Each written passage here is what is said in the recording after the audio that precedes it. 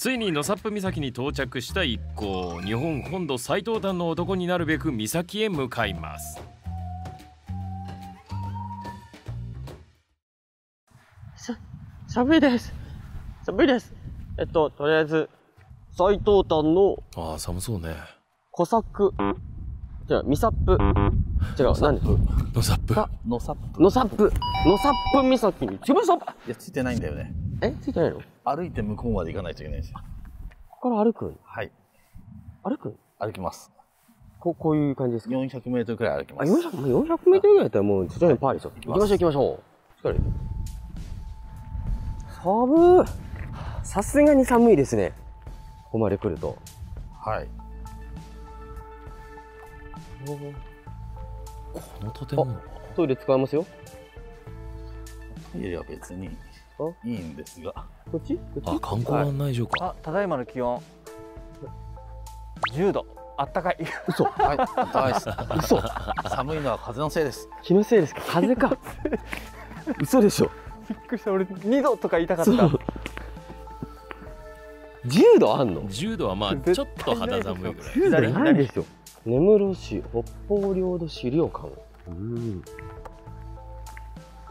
いやー、はるばる来ましたねていうか、根室市に入ってからここまでがめちゃめちゃ遠かった、長かったねえ？11度ですね、もし。嘘でしょ。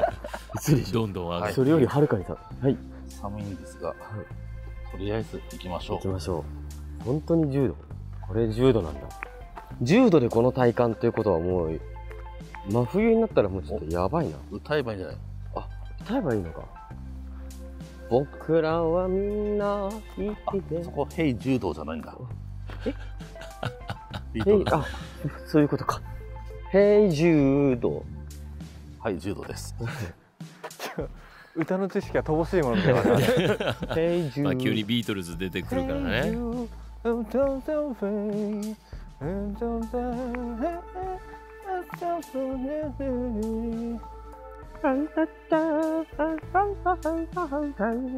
職質されないようにね結構お家あるんですね、この辺。うち、お家なのか住な？む用じゃないんじゃないかな。いやーもう暗いやーでもこれで僕は晴れて日本で最も東にいる男になる闇に溶け込むけどね。それでもいいんです日本一という称号が。まさかあそこですか？あれですかね？あのなんか立って。まだもももっと先。先。もう400メートル歩いた気しますけど。さっきのあの警察署の前くらいから400メートルなんで。あの、あのポールがそうじゃないですか。でもあれですねやっぱ今日はちょっと曇ってるから星はあんまり見えないですね。これ多分国旗掲揚台？はい、もっと向こう行くよ。あはいうわサクサクすごい行くよ。波の音がすごいあと280メートル向こうに行くよ。すごいですね海の明るければねもっと本島、景色が見え本島ってるかもしれない言わないのかな？なんて言えばいいんですかね。九州、じゃあ北海道本土のうん最東端とか言わないとそう。そう、北海道内。まあ日本で指折りに東にいる人本当に何も見えないです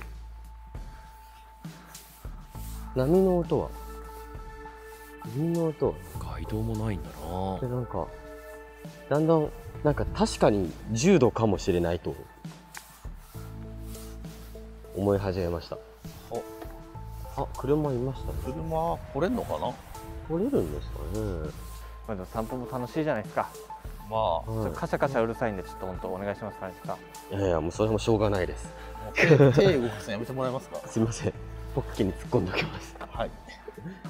あだいぶ違う気がする。あ、消えた消えた。ショーンショーン。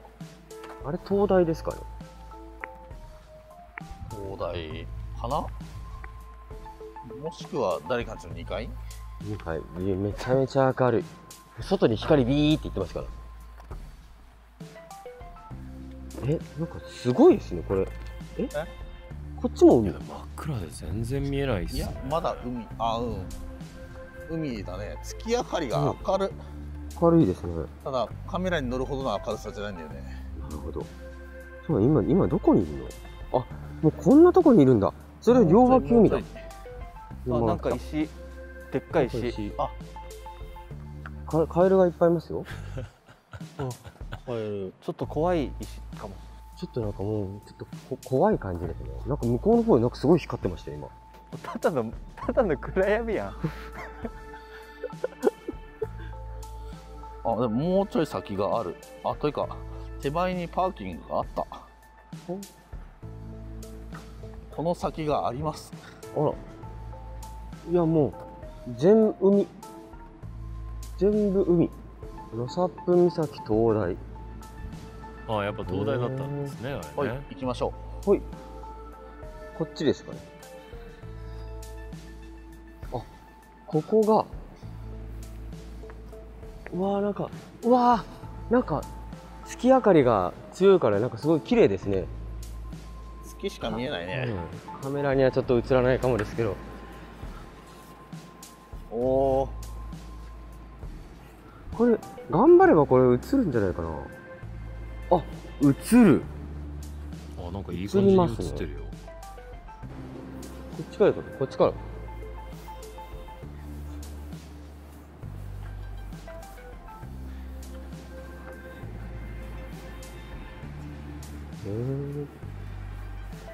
はい。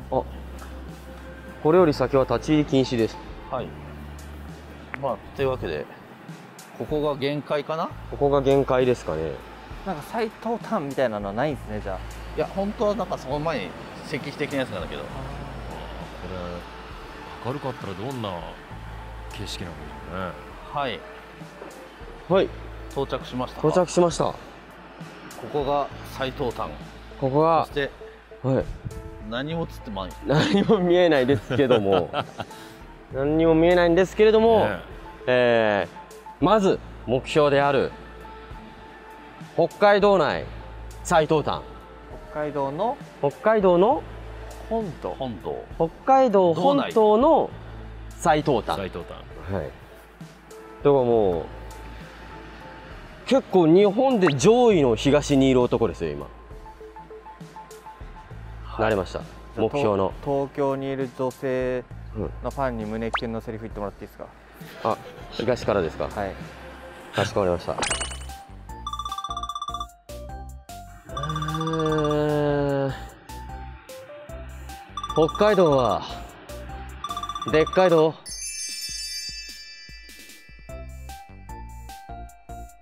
はい OK はい。です。ダメでしょこれ後がよろしいようで。これダメでしょ。いやーでもこれ本当日が沈む前に間に合えたかったな。そうだね、はい。昨日からそのパターンだね。そうっすね。この日根室市内市内に泊まるわけだからまた明日朝来ましょうで来れるはい。何も距離でもないですもんね何も映りません。でもこのあのこれす iPhone, iPhone なら iPhone なら頑張れるんじゃないか。すごい距離だ。うん結局暗い。結局暗いですね東大の前で写真でも撮りますか？はい。よいしょ。よいしょ。で僕がこれ微動だにせず。そうだねナイトモードで頑張ってみましょはい。う良い感じに撮れたかも。お。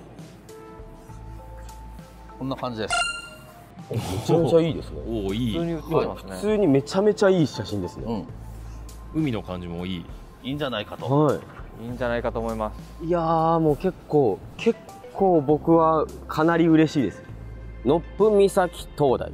本土最東端の灯台。ということでここにうん行きました。うんうん明治5年から、えーあるんだそうですね。えー。はい。やった。目標一つ達成でーす。いやー日がに来ようね。そうですね。それは、それは本当にそうではあるんですけども。でもまあ、まあ、次の目標がねここに行きたいということでね。いうあの願いは、一つ達成することができたので、うん。はい。きっと美味しいお酒が飲めることでしょう。というわけで、ホテルに行きましょう。今日の飯や、飯や、ホテルじゃ。今日のこれからあの向かうお宿は帰るのも結構時間かか根る室市街ですか？根室市のこうあの市街地内。うんうんということは？のってことはまたあの市街地の方に戻るというはい戻ります2 0キロくらい ここから20キロですか？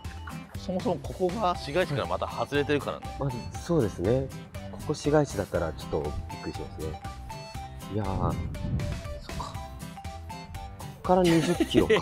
そうです、そうですよ。あの、密かな目標だった。日本で一番、日本の中もこう本土の中で一番東にある自販機。はいそれをちょっと探しましょうよ。そこで飲み物買いましょう。さっきの駐車場のとこじゃないかなきっとですかね。あの、なんか、ちらほら明るいのが、あれ自動販売機か。いやー、いやー、なんかめちゃめちゃ、めちゃめちゃ嬉しいです。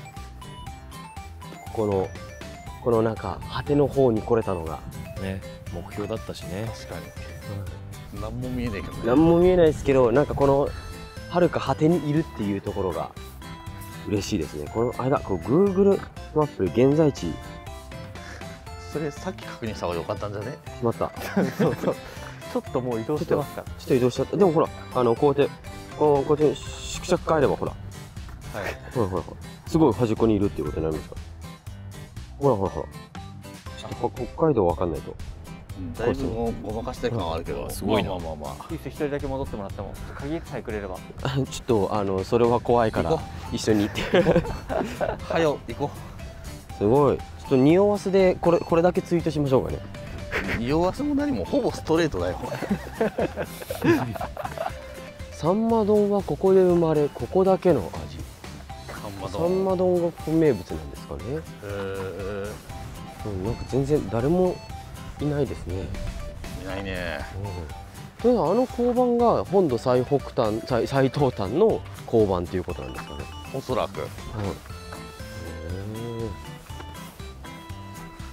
自販機はなかったですね。あ、あれじゃないですか？うん自販機は自動販売機ですかね。あのお財布車に置いてきちゃった。 Suica 持ってるんで Suica 使えますあれ。うわラーメンいいな。いくら丼。ラーメン。あラーメン屋さんがある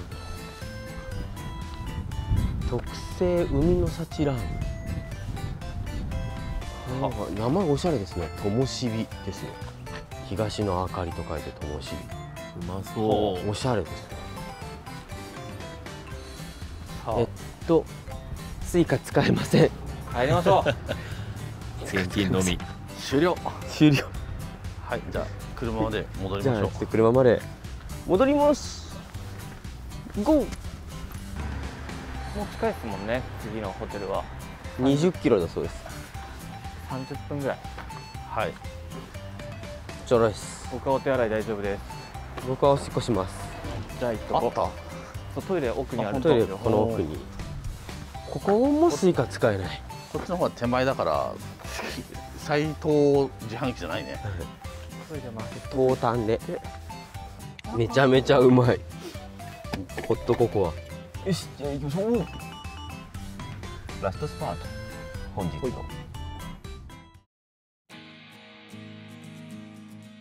瞬間的に日本本土最東端の男となった狩りのショーいよいよ2日目もクライマックスですといった感じでですね。なんかでもね嬉しそうだったのがなんか印象に残ってますね。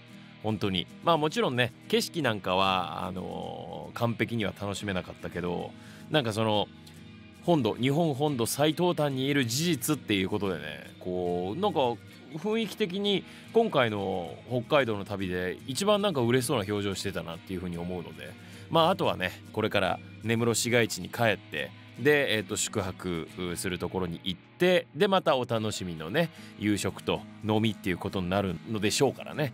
まああのこれからもねあの旅の疲れを癒していただきつつあの折り返しを味わっていただきこれからも頑張ってもらえばというふうに思っております。というわけで次回北海道旅はついに折り返し地点でございます。